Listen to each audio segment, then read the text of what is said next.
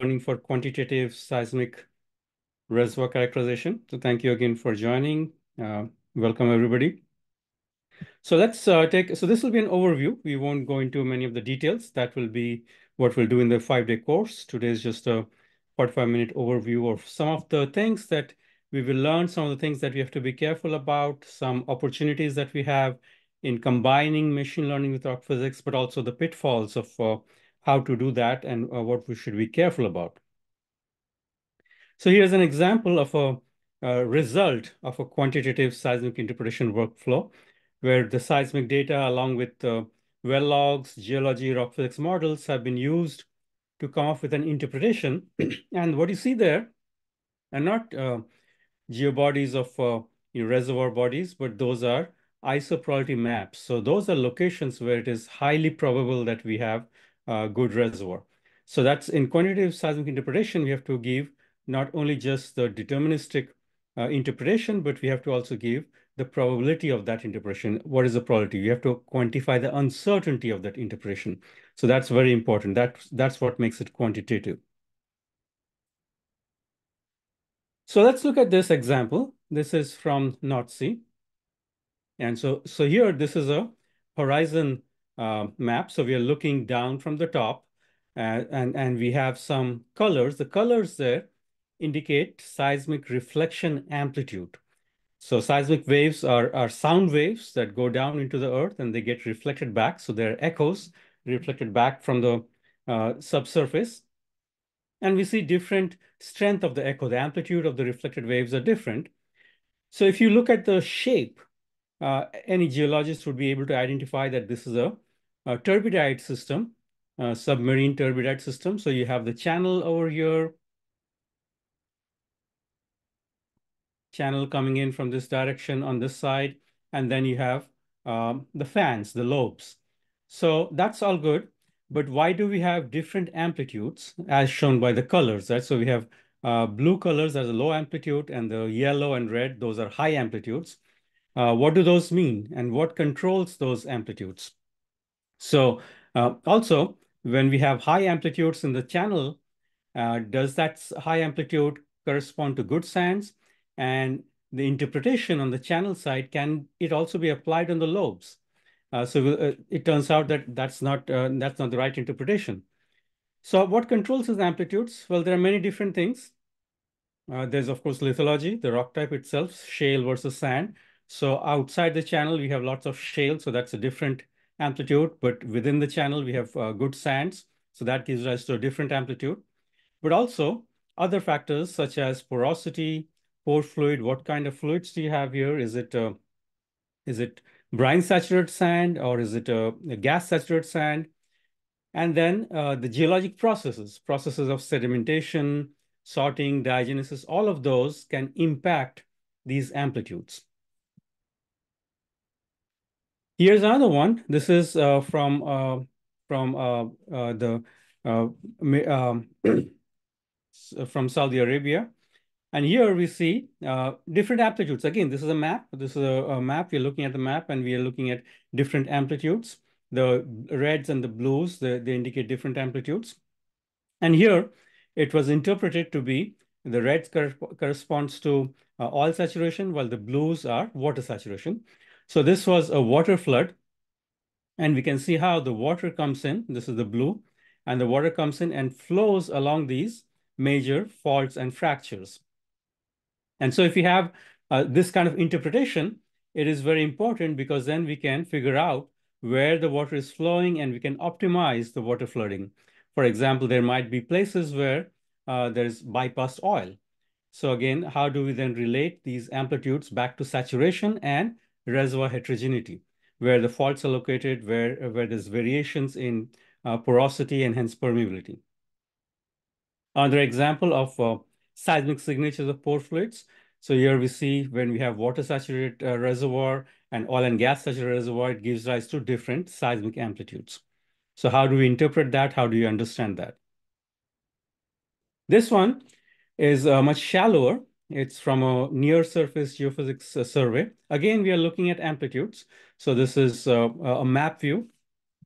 And we can see that we have different amplitudes. Right? So you have Uh, in blue, we have some uh, lower amplitudes over here. Uh, so we can see these amplitudes and we can identify from the shape that that looks like a buried stream channel. So that's good. Uh, it's a buried stream channel. But then the question is, is that um, buried stream channel, is it um, sand rich or is it clay rich? Right? So is a good reservoir? Is it completely clay filled uh, channel? And uh, if it is a good sand rich uh, uh, channel, then what are the fluids there? Is it filled with oil? Is it filled with gas? What kind of fluids do we have there? So how do we take these seismic amplitudes and then combine that with rock physics and make interpretations about rock types, pore fluids, uh, diagenesis, sorting, and so forth, cementation, geologic processes. Now, the seismic velocity depends on pore fluids, like we uh, saw some examples there. But the relation between velocity and saturation is not unique. So here we see we have velocity on the on this axis, axis uh, y-axis, and here we have saturation, saturation fraction. So what fraction of the pore space is filled with water, SW. So on this side, we have 100% water saturated, and here uh, we have uh, dry. But now we see, so as saturation changes, we see that velocity changes, but we have uh, a non-unique um, relation. It also depends on the saturation scales. So if the saturation is at what is called a fine scale, fine scale pore scale mixing, then we have one relation shown by the open circles. But if it is a coarse scale mixing, then we have a different relation shown by the uh, closed circles, the black dots. And this depends on the process, whether it's an imbibition process or a drainage process, which way are we going? Are we increasing the water saturation or are we uh, draining away the water? So as you can see, this can give rise to uh, uh, non-uniqueness in our interpretation. Let's say we observe a particular velocity. Say we observe this velocity, or also we might observe an impedance, which is velocity times the density. Now, depending on the saturation, so we want to interpret that velocity in terms of saturation. Well, it could be, if it is coarse scale patchy saturation, it might be 65% saturation, or if it is a fine scale saturation, it might be 85% saturation. So we need to know uh, when we have to uh, model it using a coarse scale patchy saturation and when we have to model it using a fine scale saturation. And that will depend on the processes in the reservoir, imbibition process, drainage process, the different pore fluids that are there that are mixed together. And so that will help us to reduce the ambiguity of the interpretation. Time-lapse seismic, this is important not only for oil and gas, but also it is very important for CO2 sequestration, for monitoring CO2 sequestration. These days, as you know, we, we have to sequester CO2 in, in reservoirs as well as uh, saline aquifers. And so as we inject the CO2 inside, we need to understand where the CO2 plume is migrating. Is it safely within the, the, uh, the storage site or, or are the chances for leaking? So time-lapse seismic is one, uh, one of the tools for monitoring uh, subsurface fluid flow, whether it's oil and gas, uh, steam injection, or, or CO2 injection. Here also, we see that uh, the time-lapse seismic amplitudes depend on the rock properties, the fluid properties, porosity, as well as the scale of saturation. So this uh, example here is a slide where we see change in amplitude. So This is a delta RMS change. So root mean square change in amplitude over a certain time. And you see there's a lot of change here. And so this was a place where they were injecting uh, gas to drive up the oil towards a, a producer. But if we do the interpretation without, without accounting for the saturation scales, then our interpretation can be uh, completely off. So that is shown here on this plot. So here we have the change in amplitude on the near offset and the mid offset. And if we do not account for the scales of saturation, we'll get some uh, model that predicts uh, values over here with some uncertainty, while the observations from the field data are way over here, so completely off. However, if we correctly understand the scales of saturation, downscale the saturation, and increase the patchiness, then we can get our models which are consistent with the data, the field data, and then we can do a better prediction. So uh, seismic signatures depend on rock and fluid properties, saturation, and scales of saturation. Another very important area where we use seismic data to make subsurface uh, interpretations, that is uh, fractures. Fractures uh, can have a variety of seismic signatures, and it, it, depends on the lithology, what kind of rock we have, where the fractures are, are there, the fracture orientation, the number of uh, sets of fractures, as well as what is inside the fracture compared to what is inside the matrix of the rock. And why are fractures so important? Well, fractures are important for multiple reasons. Fractures can be conduits for flow, so they can they can guide the fluid flow. And so if you're doing uh, water flooding or or some something like that, it might be thief zones because uh, the fluid flows through the fracture and doesn't actually give good sweep. Uh, the sweep efficiency can decrease. On the other hand, fractures can also be very good because if you have a very tight reservoir, it is the fractures that are contributing the, to the fluid flow. So it's very important to understand fractures. We want to understand um, the intensity of fracturing, whether it is uh, highly fractured or not so fractured, as well as the orientation of the fractures. And then what is inside. So we, we study fractures in the field from outcrop and geologic studies. We study fractures in the lab, looking at uh, lab scale, as well as from the seismic data. So here is an example where we're looking at amplitudes for uh, different kind of fractures with different fluids inside the fractures. So water saturated cracks versus gas saturated cracks. And let me explain what these uh, colorful uh, figures are. So these uh, colors indicate reflection amplitude. And what the uh, uh, this diagram is, this polar diagram, is reflection amplitude as a function of angle of reflection, so angle of incidence and reflection, as well as azimuth with respect to the fracture orientation. So here on this side, we see the azimuth. So going from 0 to 360 degree with respect to the fracture orientation. And as we go from the center out, we see uh, angle. So at the center is normal incidence reflection. So wave goes down, comes back up, right? So that's zero degree. And then as we go from uh, out outward from the center, we have zero degree, then um, 10 degree, 20 degree, and so on. So that is um, AVO. So we have AVO, amplitude versus offset or angle, as well as amplitude versus azimuth. So AVO and AV, AVAZ, if you want to call that uh, uh, amplitude versus azimuth. Both of those are shown here. And so here you can see how the amplitude varies. So this is at a particular offset at 35 degree. We look at all azimuths and you can see how the amplitude varies with azimuth when the fractures or cracks are water saturated. However, if we replace that water with gas, you have a different AVO and AVAZ behavior. Right? So this one has a different behavior, smaller uh, azimuthal variation compared to water saturated. And this depends on not only what is inside the fractures, it also depends on the matrix properties. Where are the fractures situated?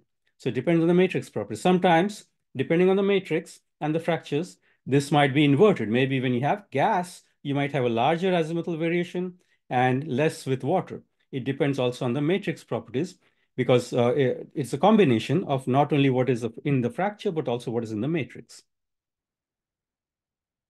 So you have to be careful again um, uh, when you do these kind of interpretations. Sometimes you might be pitfall because water saturated fracture in the cap rock might resemble gas saturated fracture in the reservoir. So you have to do the forward modeling, rock physics modeling, uh, to uh, model this anisotropy as a function of azimuth as well as uh, uh, the incidence angle. Again, here the colors are the P2P reflectivity as a function of azimuth as well as um, offset or angle of reflection. So in rock physics, what is, what is rock physics? Uh, what do we learn when we, uh, when we study rock physics? So the purpose of rock physics is to discover and understand relations between seismic attributes or more generally geophysical attributes, and rock and fluid properties. So for seismic attributes, what seismic attributes? Maybe velocity, impedance. Impedance, we might get that from uh, impedance inversions, reflectivity, AVO, amplitude versus offset, amplitude versus azimuth, sometimes also wave attenuation, all of these attributes. If you're also looking at uh, other geophysical uh, measurements such as electromagnetic or, or resistivity. We might be looking at uh, resistivity, of course, or, or EM uh, attributes. And we want to link them to rock and fluid properties. Ultimately, we're in interested in the rock properties. Rock type, of course, uh, is it a good uh, reservoir uh, or is it shale? Uh, what kind of reservoir? Is it clean sand, cemented sand, shaly sand? And the porosity, of course. Porosity is a key property that we look for, whether we are producing or we are storing. All of those require understanding the porosity. And the pore fluids, what, what is inside there? Where is the uh, oil and gas? Where is the CO2 plume migrating? So pore fluids and saturation, as well as uh, pore pressure, temperature, conditions. So rock and fluid properties, how are they related to our geophysical measurements, seismic measurements or, or electrical measurements. And why do we want to understand the relation? Of course, it is uh, from acad academic point of view, that might be very interesting. But uh, more practically, by understanding that, we can quantify our geophysical interpretation, seismic interpretation, or, or electromagnetic interpretation. We can understand the links between the geology and, and our geophysical measurements, and we can make smarter extrapolations and quantify uncertainty. So what does that mean, making smarter extrapolations? So in when we do this kind of analysis, we have some wells, we have well logs, we, we might also have cores. So at the well location, we have a lot of information. We know a lot about the rocks at the well location from the different sophisticated logs that we might have, um, uh, sonic logs, electrical logs, uh, radioactive logs, gamma ray logs, and so and, and many others. Also cores. So uh, our, our borehole imaging logs. But the problem is nature, geology is very heterogeneous. We may know a lot about the rock and the and the subsurface at the well location, but how do we go and make interpretations away from the well location? The problem is, is the heterogeneity. If it had been a perfect, nice layer cake geology, then we could just take the well interpretation and just extrapolate uh, along the layers, but that's not the case. Uh, uh, they're very heterogeneous. And so making extrapolations away from the well, we have to use data that we have away from the well, which is, of course, the indirect remotely sensed data such as seismic measurements or, or electric, electrical measurements. And how do we make the extrapolation then? We have to then link our seismic attributes to the rock and fluid properties. And so by understanding the, the relation using rock physics, then we can quantify the uncertainty, and then we can minimize our interpretation risk. And then that will help to make better decisions, whether it is for developing the resource uh, or it is for storage. So whether it is uh, producing oil and gas or for groundwater, or it is storing CO2 and, and other, other uh, uh, things in the subsurface. So often you'll hear different terms, rock physics, petrophysics, rock mechanics. Of course, there's a lot of overlap. Fundamentals are, are similar, fundamental continuum mechanics, elasticity theory, and so forth, physics. But there are also some differences. So as, as I just mentioned, in rock physics, we want to understand the relation between geophysical measurement and rock properties. And often the emphasis is on seismic data because that's uh, the best quality data we have, high resolution, also spatially exhaustive. Um, so emphasis on interpreting seismic data, understanding the sonic log from well logs, and in the lab, we use ultrasonic measurements. Of course, we also have rock physics for, uh, for electrical properties also. In petrophysics, it is focused on interpretation of well logs for formation evaluation. So it is traditionally mostly limited at the wells it is similar to rock physics, so there is emphasis on well logs, but often traditional petrophysics was focused more on the electrical logs and radioactive logs, ignoring the sonic logs and seismic logs traditionally. So it is more at the well scale. However, of course, we need to have good petrophysics, good quality logs to be able to do rock physics. Without good petrophysics, without uh, uh, quality controlled well logs, sonic logs, and other logs, we cannot do rock physics. We cannot calibrate our rock physics model. So petrophysics, interpretation of logs for formation evaluation, mostly focused at the well scale. Uh, however, that's an important input to make our rock physics models and understand what is happening away from the well uh, based on the seismic data. Then we have also rock mechanics, uh, geomechanics.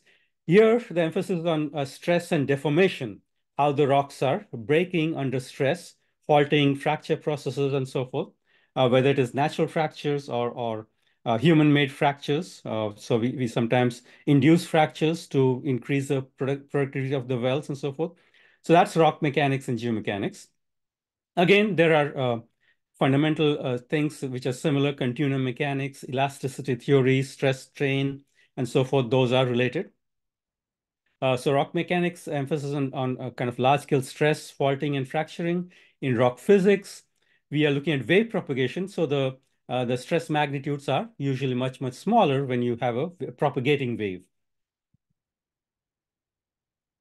So the rock physics link then, we have seismic data and conventional interpretation is the interpretation of geometries. We look at horizons, we look at faults and so forth, and we come up with a geologic interpretation of the architecture of the reservoir.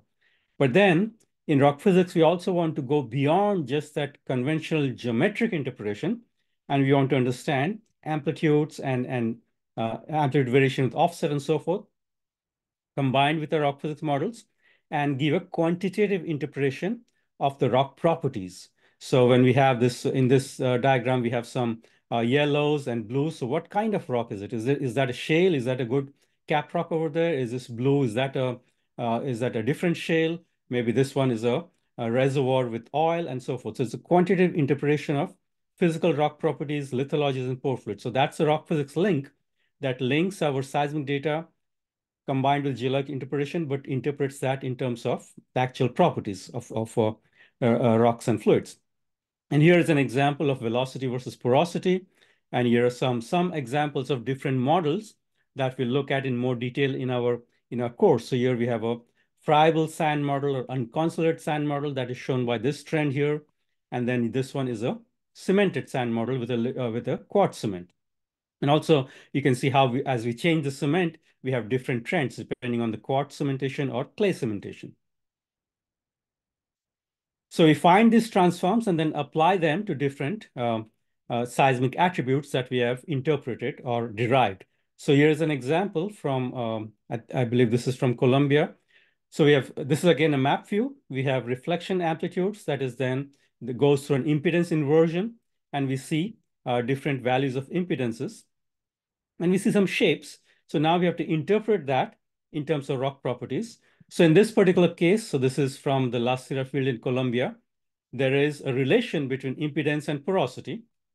So the high porosity sands in general have a lower impedance in this field, and the low uh, porosity uh, non-reservoirs, so the shales have a higher impedance. Of course, there is also some overlap, so there is some uncertainty. You can see that. However, once we have this uh, transform, impedance to porosity transform, then we can interpret our impedance inversion in terms of uh, the geology. So here we have meandering sand channels, shales, or here we have braided sand channels and so forth.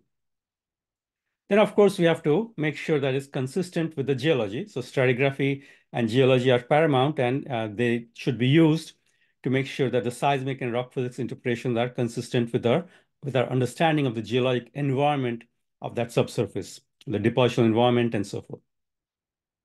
Another example from offshore Brazil. This is a Campos Basin, one of the prolific basins.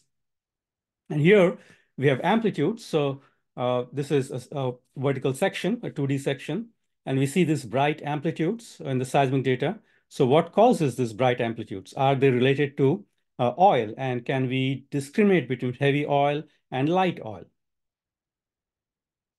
So bright amplitudes cause, could be caused by many different things, uh, rock and fluid property contrast, lithology, but also uh, fluid properties. A different example, which will go in more detail in, in the course, but here just a, a preview. Uh, so this is from North Sea, Norwegian North Sea. So here we see the, the coast. This is Norway over here. This is offshore. And we have this uh, Graben, the Viking Graben, and the two fields, Grane and Glitne. And here we have two wells, well one and well two. is a turbidite system. So here we are seeing the actual field data. So that's shown on the left here, the field gather. Uh, so this is, uh, so we have AVO, uh, amplitude versus offset. The red line here is the top of the reservoir, top Heimdal. So that's what we're interested in. So well one, well two, the field gathers as well as the synthetic gathers computed. So that's the synthetic and the uh, actual field gathers. And what we see here on this plot here is uh, angle or offset versus uh, P2P reflection amplitude. And we can see the dots, the black dots are the ones from the field gather. You can see those uh, picked amplitudes. And the red curve is a theoretical one, so it has been calibrated. And so these two wells, they're both the same fluid. The, the reservoir there both have oil. However, in well two, it is slightly more cemented. So it is a, uh, slightly more cemented. This, uh, the sand there is slightly more cemented, a little bit more cement. And what we see here is the change in AVO, right? So as we uh, increase cementation, we go from unconsolidated to cemented sand, no change in pore fluid. We go from here to here, right? So this moves up there. Now, of course, the cementation is at the pore scale. The pore, uh, the cement is at the grain to grain contacts, which is making the rock stiffer. So obviously, the seismic waves do not resolve the cement, but it is the overall effective property of the rock that gives rise to a change in the seismic signature. And that seismic signature or the change in seismic signature can then be used to interpret what kind of rock we have, whether it is unconsolidated, cemented, and also what kind of fluid we have inside that rock. So we can use those kind of understanding to interpret uh, AVO. So here is a, it's a horizon, the top of that Heimdal, and we have zero offset reflectivity. So R, R0, you can see where we have relatively high R0 and then relatively low R0. And we can also get the gradient. So this is obtained from uh, pre-stack analysis, AVO analysis of the gathers over the whole horizon, not just at the well location, but away from the well. So we, we calibrate and understand our models at the well, but then we go over the whole horizon. So combining this AVO, R0, and G gradient, then we can do analysis. We can understand the variability of the response. We, can, we have to do Monte Carlo simulations.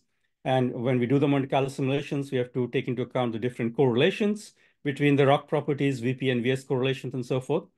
And so then, uh, why do we need to understand the variability? Because it is not just a single response. This one here, we did a deterministic analysis to calibrate our rock physics model. But in reality, of course, we see that there is a variability in that response. It's not just a single line. So we have to understand that variability using Monte Carlo simulations. And uh, because of the variability, there can be overlap or ambiguity in the interpretation. And so combining that together, then you can come up with a uh, 3D uh, prediction where we have high probability of oil sand. So now we uh, do not want to give a deterministic result because there's ambiguity, there's uh, overlap in the interpretation. So this is high probability. Most likely there's an oil sand here. Most likely these are shales. And here we have interpreted sand shales and so forth. Another example, again from the North Sea, but instead of uh, doing AVO, we can also do impedance inversion. We can do partial stack impedance inversion, near offset stack, far offset stack. We can do those uh, impedance inversions and we can get different attributes such as uh, the uh, acoustic impedance, which is uh, velocity times density, and the far offset impedance, sometimes also called elastic impedance. Or we might also get acoustic impedance and VPVS ratio, uh, different depending on the kind of inversion you're doing. Sometimes you might be able to get uh, P wave impedance and shear wave impedance. So either way, we have uh, two different attributes, uh, near and far offset impedance cubes derived from uh, seismic inversion. And then we also, of course, have our uh, well logs. And we, along with the well logs and understanding of the geology, we calibrate our rock physics models. So we do this on one side. We have our seismic inversions. Of course, this is also guided by, by uh, calibrating to the well log. Then with our Monte Carlo simulations, we have our probability distributions for the probability distribution of the seismic attributes for the different categories, such as, for example, the shales, the oil sand, brine sand, and so forth. And combining them, all of them together, we come up with an integrated uh, interpretation of the facies probabilities. Where do we have high probability of oil sand? Where do we have high probability of uh, brine sand and so forth? So then once we have that full workflow, then we can come up with probability maps. These examples are for depth average probability maps. So we are averaging over that reservoir interval, and we can see where we have high probability of oil sand, other places where we have brine sand and so forth. And then we can come up with a full uh, characterization as I uh, mentioned when I started, so these again, are not geobodies. They're not deterministic geobodies, but isoprobability surfaces showing most likely or high priority values of, of oil sand and so forth. 80% or 85% chance of getting oil sand. So again, that's our rock physics link. We have seismic data, and we want to interpret that not only in terms of geometries, which is the conventional traditional interpretation, we want to interpret that in terms of rock properties and fluid properties. So, but if we look at rocks, they are very complex. This is a thin section. It is, you see the scale here, 500 microns. And you can see some grains, and the blue here is, is the pore space. So the pore space is filled with epoxy before we make the thin section. So we see the uh, pore, uh, pore space. It's very complex. The, uh, the, the grains, they are different shapes and sizes. They're different minerals. You can see quartz, feldspars, micas, and so forth. So how do we model this mathematically? How do we uh, do any kind of uh, quantitative equations with this? It's so complex. Uh, uh so there are traditionally, there are two types of models or, or a large class of models called effective medium models. And what we do there is we say that, well, yes, it is indeed very complex at the pore scale. Uh, there are different shapes and sizes and so forth. But what we really want to understand is the effective elastic properties. Elastic properties because we're in, interested in seismic, let's say. So we want to uh, understand the effective elastic properties, could also be effective electrical properties if you're interested in, in electrical uh, geophysical measurements. So we don't want to model each and every grain in its detail, but we want to understand overall what's the effective bulk modulus, what's effective shear modulus, and then uh, with those we can compute VP, VS, and density. So there are two classes of effective medium models, traditional effective medium models. One, on one side, we have contact theory models, or also sometimes called granular media models. And the other class is a inclusion models. And so what does that, uh, what do we do there? So in contact theory model, we'll say, all right, so this is too complex. We cannot do any mathematics with that, uh, uh, analytical mathematics at least. So let's try to simplify. And let's imagine that the grains, instead of this complicated shapes, let's imagine that each grain is a sphere. So each grain is a sphere, and we have a contact between the sphere. So if you have a contact, a single contact, and they're spherical grains, then we can do mathematics, and clever uh, mathematicians and, and theoreticians have solved that problem of two spherical grains in contact. So we have idealized the geometry instead of the complex uh, sh uh, shape, we have idealized the geometry and we, we can solve analytically the deformation or the elastic properties of a single contact between two spheres. But that's not the whole problem. The rock is not just two grains in contact. We have so many other uh, grains in contact there.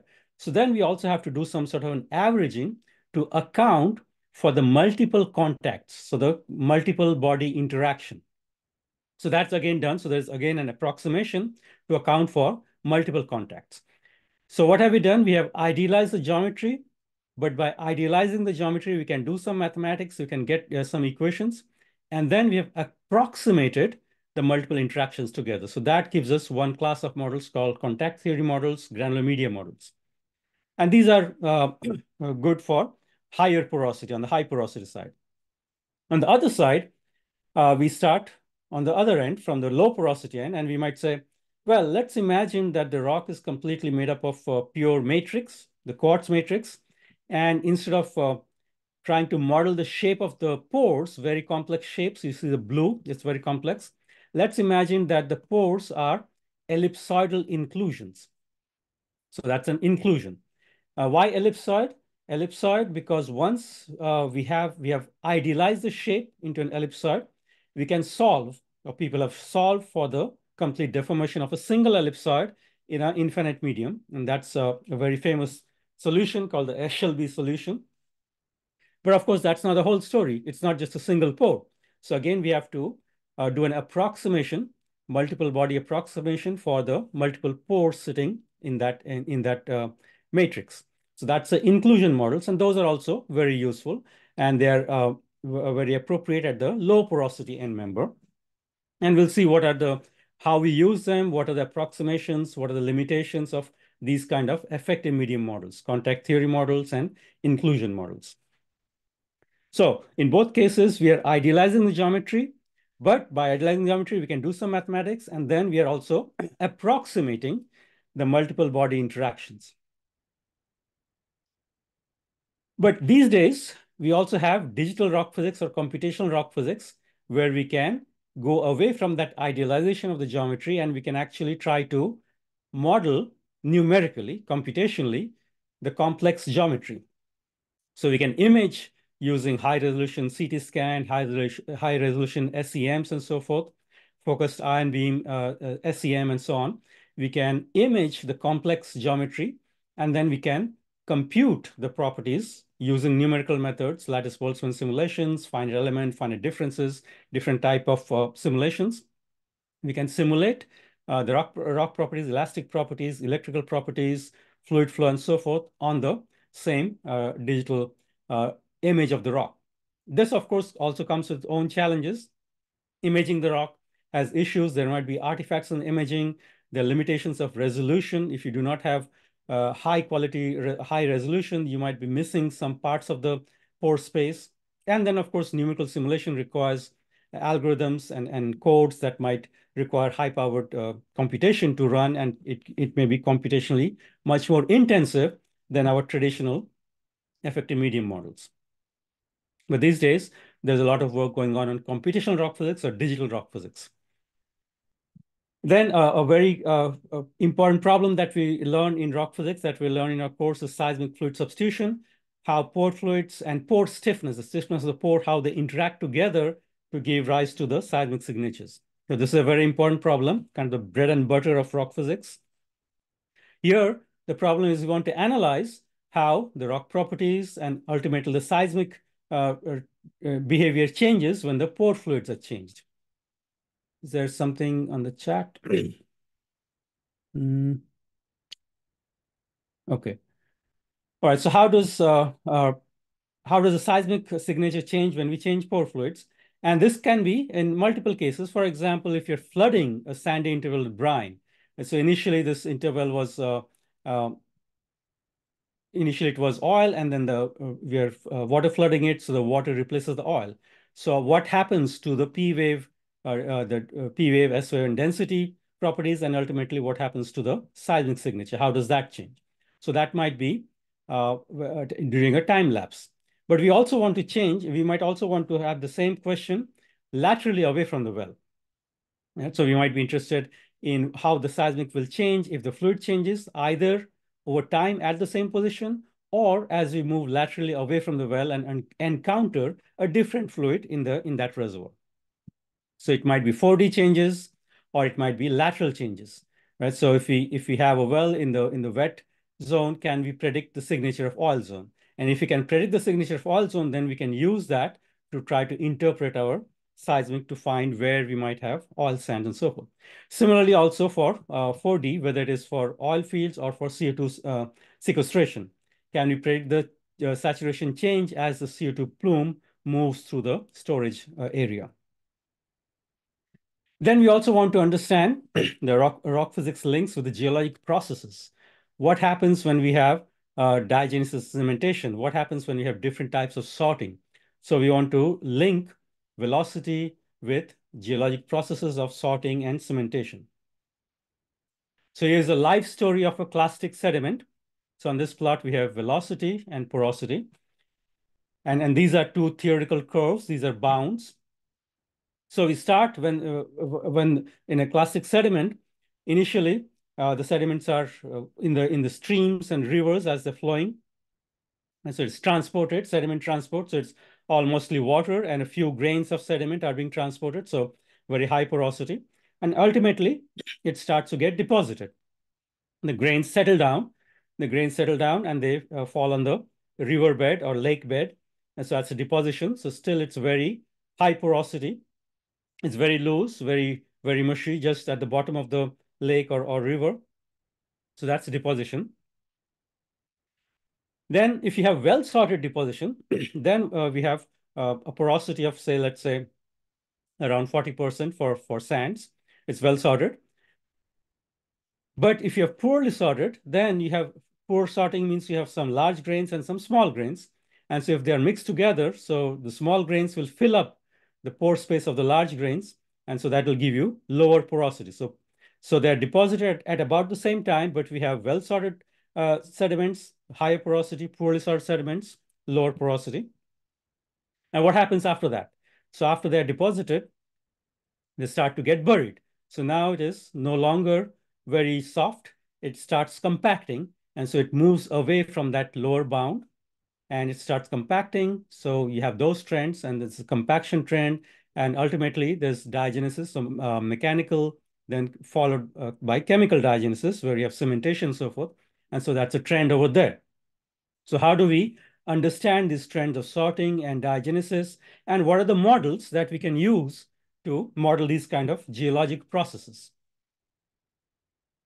And once we understand these uh, trends, we can then use that to extrapolate. So let's say here we have in, in we have some seismic data, we have some wells, and that is uh, uh, going to certain depth. But now we want to extrapolate. Maybe we want to understand the properties deeper. What kind of model do we use to uh, interpolate, uh, extrapolate beyond that depth? Maybe we want to go towards the deep water. What kind of model should we use to extrapolate away from the well towards the basin? So how, uh, what are the rock physics changes as we go away from the basin or we go deeper and then maybe from one basin to the other basin. So there's a depositional trend and then we have the diagenetic trend as we go deeper. Now, of course, these days, there's a, a lot of uh, you know, uh, uh, activity in machine learning and, and AI. So what are, how can we use machine learning along with rock physics? What are the opportunities? What are some of the pitfalls? So we'll be looking, we'll be going to that more in the course, but here are some highlights, some overviews. So application, there are many different applications of machine learning. Uh, classification, for example, we want to classify, given seismic data, we want to classify it into, say, good reservoir, bad reservoir, uh, cap rock, and so forth. So that's a classification problem. We want to do unsupervised clustering, of course, nonlinear and linear regressions, data analytics. There are many different machine learning applications that we can borrow from other fields, such as you know, computer science and, and so forth, and we can apply that in our rock physics. And in, in a certain sense, sense, we have been using uh, traditional machine learning over, over the years, over the decades. So empirical database regression models such as Han's uh, relations and Eberhart-Phillips relation, those are all data-based models. So those are empirical re regression models, so which are traditional machine learning. Bayesian classification, artificial neural networks for lithology and fluid prediction. We have been using that from the 1990s. So many years of uh, traditional machine learning kernel-based methods for uh, sub-resolution shaly sands. And these days, uh, more, uh, more recently, we are using what are called deep learning methods. Deep learning uh, methods using um, uh, convolution neural networks as well as uh, other kind of networks for seismic inversion and reservoir characterization. So why are, are we interested in machine learning? What has changed? So there's been a fundamental change in the way computations are done, and it's been driven by many different factors, one of them being the gaming industry. The gaming industry is a you know, $100 billion industry, and because of that, it has driven the growth of GPUs, uh, graphic processing units. And because of GPU, machine learning speed has increased many times, 500 times boost in, in deep learning. Uh, if you had only CPUs, you can see that's a CPU, here's a CPU curve. But with GPUs, which is driven partly by games and so forth, but nowadays with machine learning, this has boosted uh, uh, speed for, for deep learning, and that has created a phase transformation in how machine learning, especially deep learning, is done, which was not possible uh, 10 years ago. And so there's a phase transition in this massive computation, and it's changing the way that science, science and scientific research is done using uh, Monte Carlo simulation and a large scale uh, simulations. So with those kind of things, we can use, for example, we can take seismic gathers, uh, angle gathers, uh, schematically here, zero degree, 30 degree, and we can use this deep machines, deep networks. In this case, it's a CNN, multi-layered CNN with different architectures going from 64 down to a fully connected layer. And the output then is a prediction of porosity and V-clay. So how do we do that? Of course, we need to train. We need to train the deep network using uh, training data. It requires Deep learning requires a lot of data. That's one of the challenges. But here's an example of uh, once a deep network is trained, we can go through the seismic cube very rapidly. After training, the inference is very fast, and we can come up with these kind of interpretations of, as let's say in this uh, in this case, it's a petrophysical interpretation of V-clay porosity and so on. So it requires a lot of training data. And so if you're doing supervised machine learning, then it requires what is called as labeled data. So we have to have pairs when we train this network, we need to have pairs of seismic traces and the corresponding petrophysical traces. And we need a lot of that, thousands of that. Deep learning requires a lot of training data. So how do we do that? Uh, we don't have, in, in seismic uh, situations, we don't have well logs at every seismic trace. So we don't have that paired, paired labeled data. So we need to use our domain knowledge, geology and rock physics to augment the training data and to give that to the for the training. So uh, how do we augment that? How do we make sure that it's properly augmented and it's not biased? All of those are the pitfalls of things that have to be careful about when we use deep learning and machine learning. But once we do that, uh, combining our domain knowledge in rock physics with modern machine learning, that can lead to better predictions and hopefully that better predictions will lead to better decisions. So are supervised and unsupervised deep learning. There are pros and cons of each kind of uh, uh, machine learning. And then, of course, physics informed. What are the pros and cons of those? Are we incorporating the right physics in the physics informed network? And how do we incorporate that? So machine learning and rock physics, there are, of course, opportunities with modern computation, but also there are pitfalls you have to be careful about. And of course, it's a multidisciplinary. This whole uh, thing is multidisciplinary. It's not just one thing. It's not a silver bullet that will solve all problems. We use uh, digital rock physics, computational rock physics, along with machine learning, but also we have to understand our geology and put our models in the right context to come up with an integrated interpretation. And so it's all integrated together, uh, combining statistical rock physics and machine learning to give not only the most likely interpretation, but also quantifying the uncertainty. That's very important because ultimately we, we do this not just to create pretty pictures, but to inform some decisions. Somebody has to make a decision and to make the decision, we also need to understand our uncertainty because then that will help us to understand the risks involved. So rock physics is the bridge between geology and geophysics. Uh, it's also a bottleneck because we have few observables and we want to understand many different things about the geology. So there are ambiguities, variability, and, and uncertainties and pitfalls. As the goals of the course then will be to synthesize and generalize the current state of the art, provide some recipes, recommendations, and then uh, pitfalls as well. So what are the assumptions? What are the pitfalls? And that's, uh, we'll be looking at all of those. And so this was a highlight, an overview of the many different things we'll be looking, uh, going through in more, much more detail in the course. And so here are some of the texts that we'll be drawing from, of course, the Rock Physics Handbook, Quantitative Seismic Interpretation, and, and so on some text as well as some uh, papers and, and uh, reprint series, which are collections of papers that are very useful for, for these uh, courses. So I'll stop there.